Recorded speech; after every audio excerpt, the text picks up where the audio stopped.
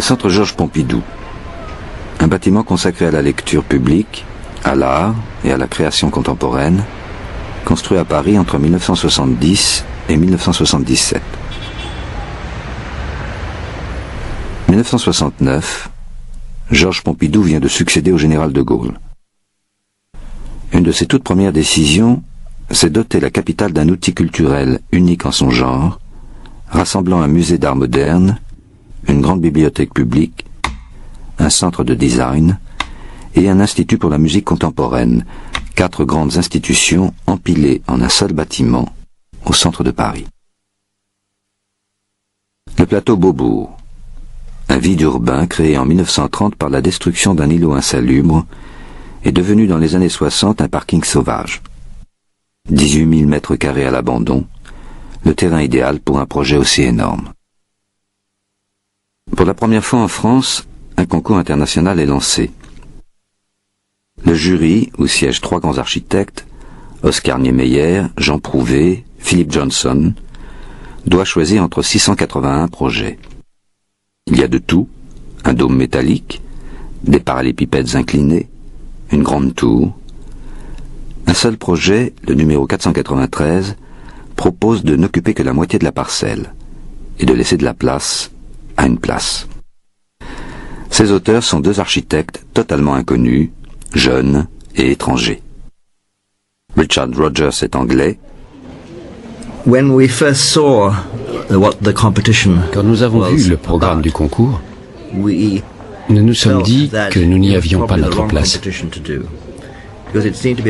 C'était un concours pour un président. C'était un concours pour un monument.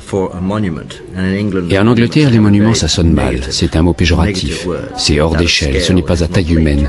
Et souvent, ça évoque le fascisme. Renzo Piano est italien. Chaque fois qu'on nous parlait de culture, Richard et moi-même, on avait mal à l'estomac. Et nous avions l'impression d'être complètement étrangers à l'esprit de cette compétition, l'atmosphère, du grand événement qui l'entourait. Et notre réponse était une vraie réponse de gamin, euh, qui adressait presque un pied de nez à leur examinateur.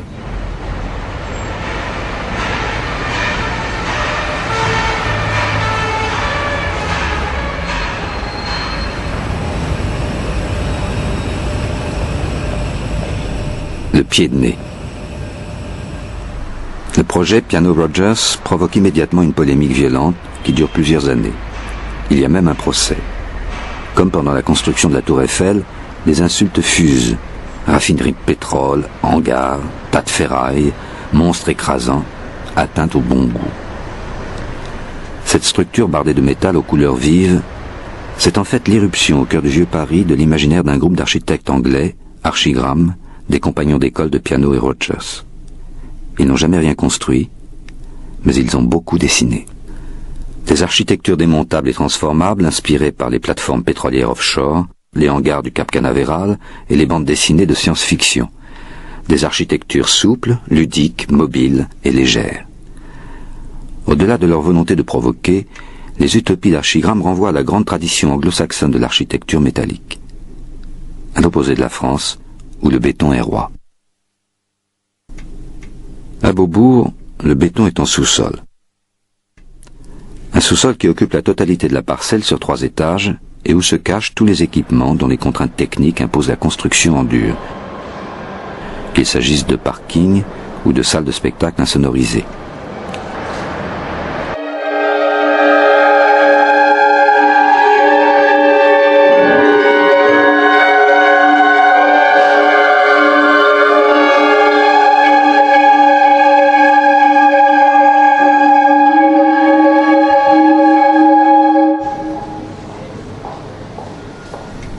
Le béton, c'est tout.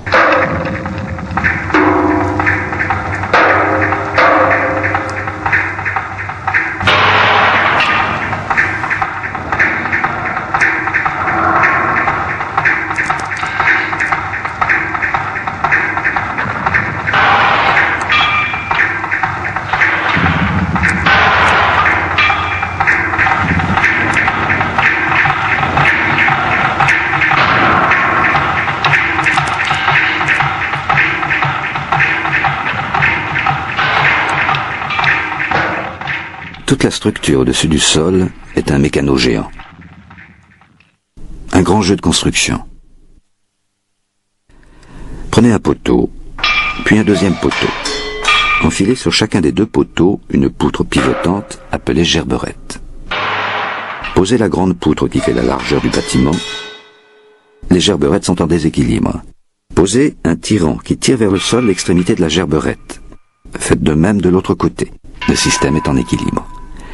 Les efforts pour maintenir la poutre sont répartis entre poteau et tirant grâce à la gerberette. Reproduire l'opération autant de fois que nécessaire pour augmenter le nombre de poutres. 6 poutres par portique pour construire 6 étages, 14 portiques dans le sens de la longueur.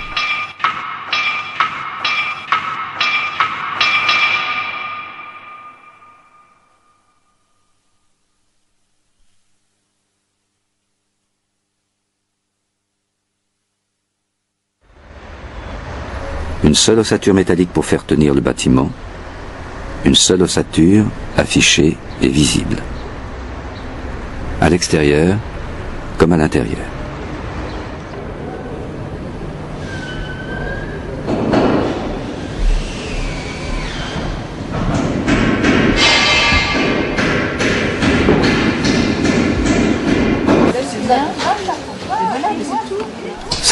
Qui porte les planchers est stabilisée par des ajouts sur les façades.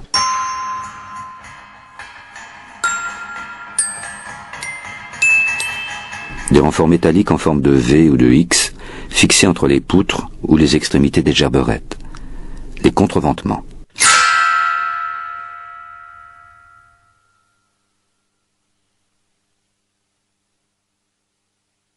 Pour concevoir cette structure, l'équilibre des charges, la forme des poutres, les architectes ont fait appel à l'ingénieur anglais Peter Rice, qui va collaborer avec eux pendant toute sa vie et construira la toiture de l'aéroport de Kansai ou du module d'échange de Roissy.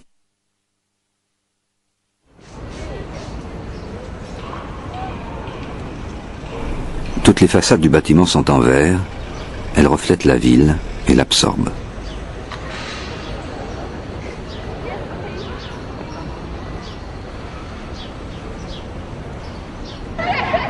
Par endroits, les murs de verre disparaissent. Seule reste la trame, ouverte au vent et au ciel. Le bâtiment prend un air d'esquisse ou de chantier en cours.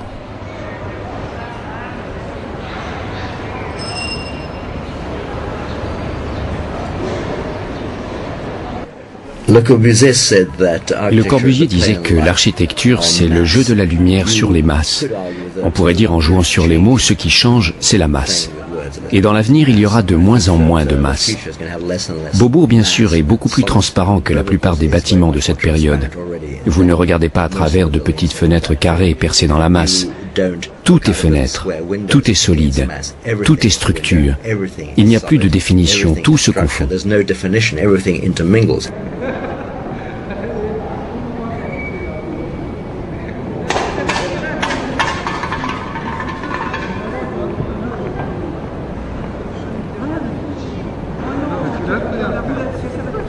Structure du centre Pompidou est simple, répétitive, mais les architectes l'ont habillée de façon déconcertante.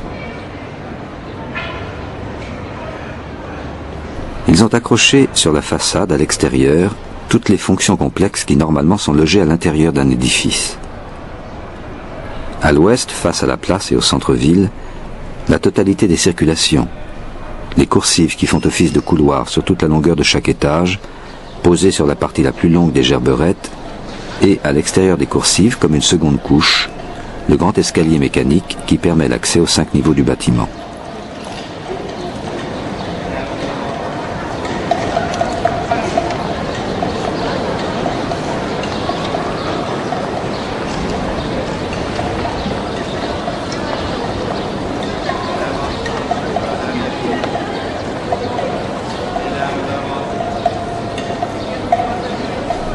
L'image de la façade résulte de la superposition sur la trame de base de ces deux couches fonctionnelles.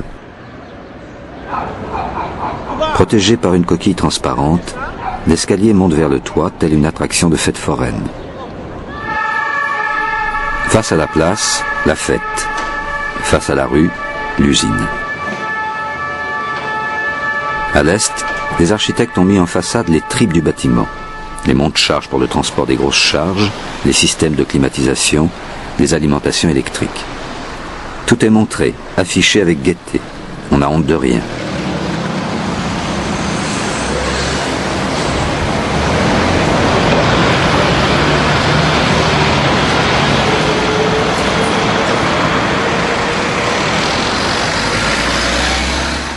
Bleu pour l'eau, vert pour l'air, jaune pour l'électricité, rouge pour les circulations, la machinerie des monts charge dans de grosses boîtes rouges, la récupération de l'eau de climatisation dans de grands champignons blancs. Tout est logé dans cette même couche verticale entre poteaux et tirants, dans la partie longue des gerberettes, la même où de l'autre côté les architectes ont logé les coursives.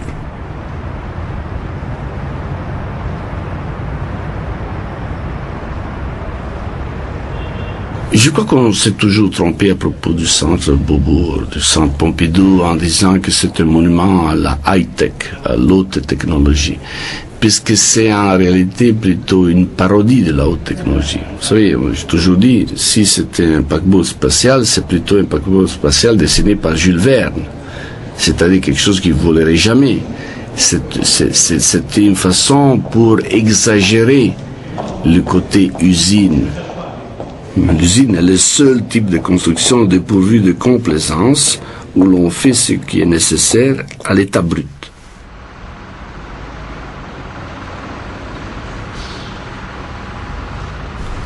Comme dans une machine, tout ici est exprimé. Comme dans une machine, ce qui est produit est sans rapport avec la forme de la machine elle-même. La machine Beaubourg est une machine à produire de l'espace de l'espace nu. En rejetant symétriquement vers l'extérieur les circulations et la technique, les architectes libèrent totalement les espaces intérieurs.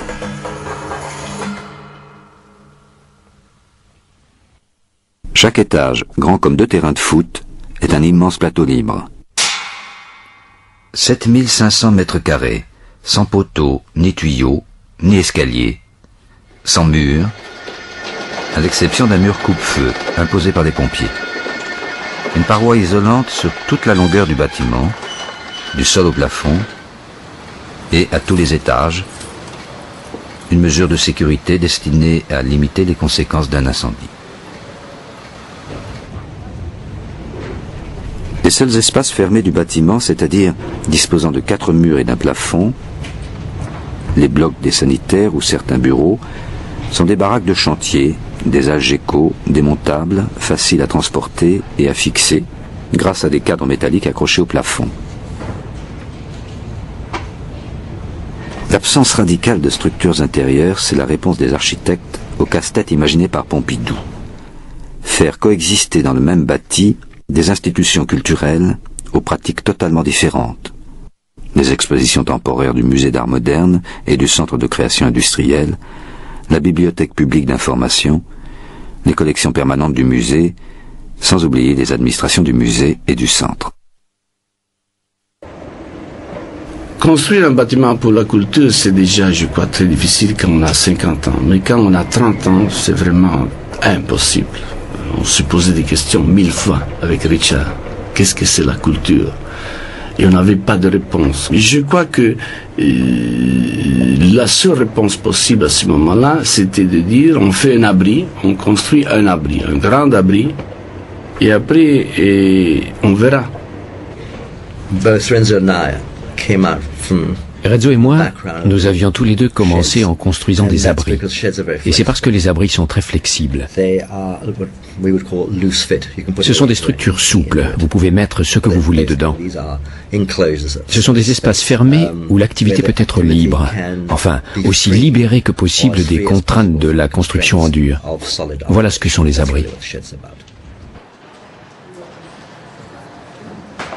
À tous les utilisateurs, Piano et Rogers offrent la même liberté dans une joyeuse utopie où l'absence de mur préfigure l'interdisciplinarité et la disparition des institutions.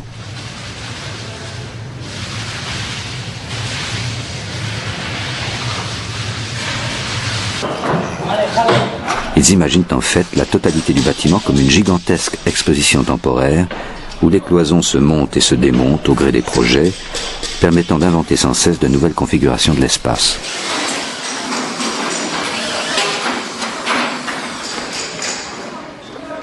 Bien sûr, les utilisateurs temporaires des expositions temporaires se sont fort bien accommodés de ce parti pris.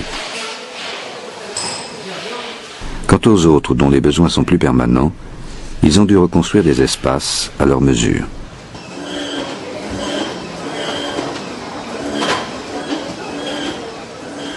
Dans les grandes surfaces consacrées à l'administration du centre ou du musée, le besoin de constituer des espaces privés de travail ou de conversation est réel.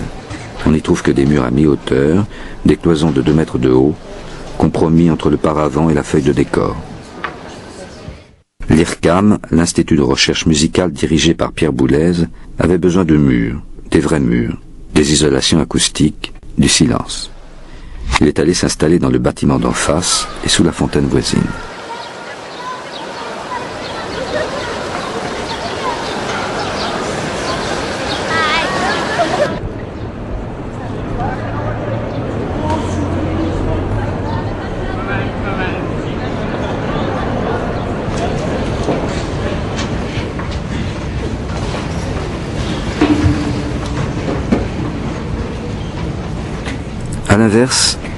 La Bibliothèque publique d'information, la BPI, répartie sur trois niveaux, s'est inventée avec la flexibilité.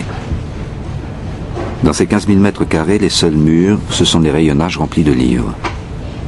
Il n'y a plus de séparation entre les espaces de conservation et les espaces de consultation. Les 1500 lecteurs lisent et travaillent au milieu des réserves.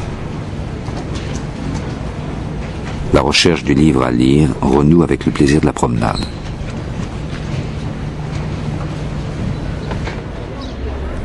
Collection permanente du musée d'art moderne installée à l'étage supérieur raconte une autre histoire. Pendant dix ans, elle s'est accommodée tant bien que mal d'espaces ouverts, éclairés par la lumière du jour.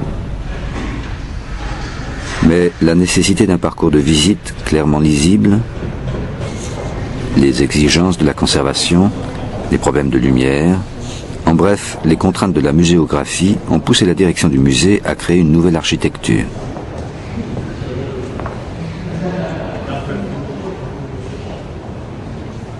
Comme elle avait construit un musée dans la gare d'Orsay, Gaëa Aulenti a construit un musée dans le centre Pompidou. Elle a recréé un système fixe de couloirs et de salles fermées. S'abritant de la lumière du jour, elle a conçu des lumières réfléchies sur des demi-plafonds qui occultent tuyaux, câbles et poutres.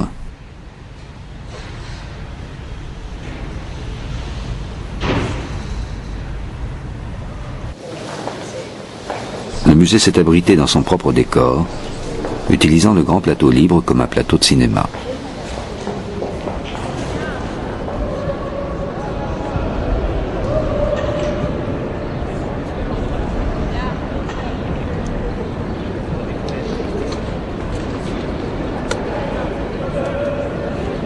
Le centre Pompidou ne se réduit pas à l'addition des grandes institutions qui le composent.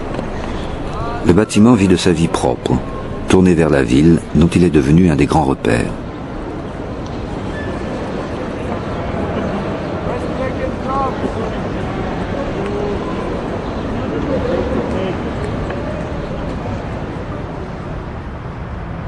Le programme fixé par le président était lourd et la construction est énorme. 100 000 mètres carrés dans le centre de la capitale. Il dépasse les immeubles qui l'entourent de presque du double il a le gabarit de l'hôtel de ville ou de Notre-Dame. Il a quatre façades dont le piéton peut faire le tour. C'est un monument dans la ville. Bien sûr, c'est un monument. Le centre Pompidou, c'est un monument. On a toujours dit le contraire. Mais comment est-ce qu'on peut faire un non-monument dès qu'on construit une masse de telle importance sur le plan physique, du volume, et sur le plan fonctionnel? Mais à nos yeux, la place était aussi importante que le bâtiment. Dans une ville aussi dense que Paris, nous avons pensé qu'il ne fallait pas occuper la totalité du terrain disponible pour créer un parvis, une sorte de clairière qui est finalement le lieu de l'urbanité. Elle crée le vide qui rend l'existence du centre possible et peut-être même nécessaire. Et c'est grâce à la place que le centre appartient à la ville.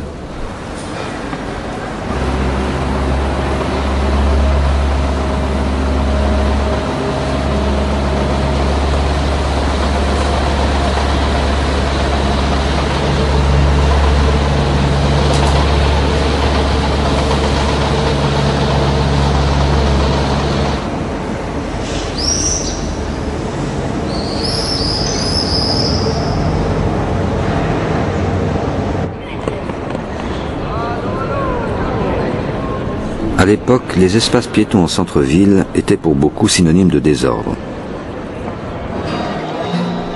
La place, la piazza, renvoie pourtant une vision idéale de la ville, celle de la Renaissance italienne. Elle est en pente douce, comme la place del Campo de Sienne.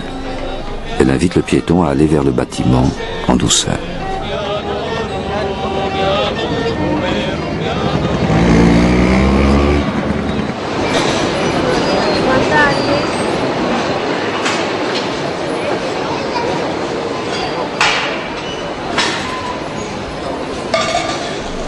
Projet d'origine, il n'y avait pas de séparation entre la place et le bâtiment.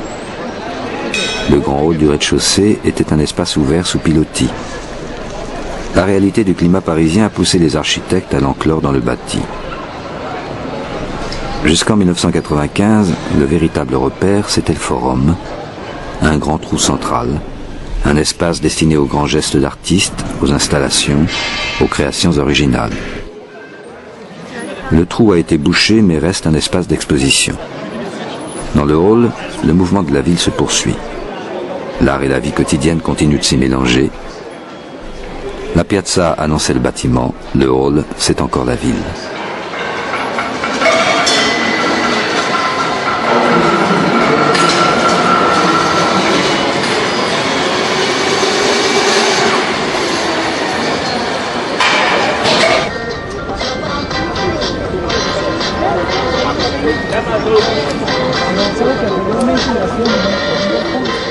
La ville se coule dans le bâtiment. Elle monte aussi en façade. Les circulations de la façade ouest ne sont pas seulement les dessertes du bâtiment, la solution technique pour libérer les espaces intérieurs. C'est l'aboutissement de toute une réflexion sur la confrontation du monument et de la ville. La façade entière est un lieu public, avec ses places et ses rues, où l'on accède sans billet ni contrôle.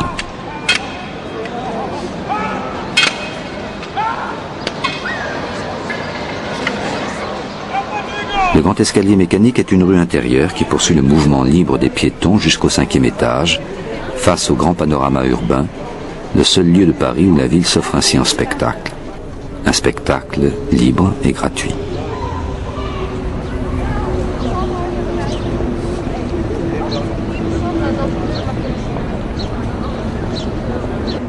Il est difficile de dire du centre qu'il est beau.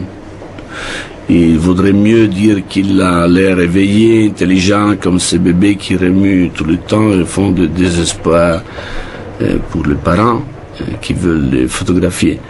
Mais c'est quand même comme ça. Le bâtiment est vivant et aujourd'hui, 20 ans plus tard, il le prouve.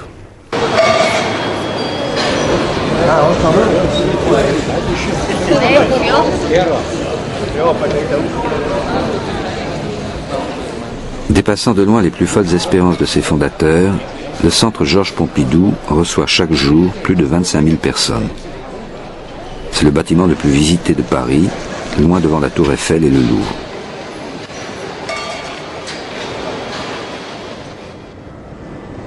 Victime de son succès, le bâtiment s'est usé. Il aborde l'an 2000 avec deux ans de travaux.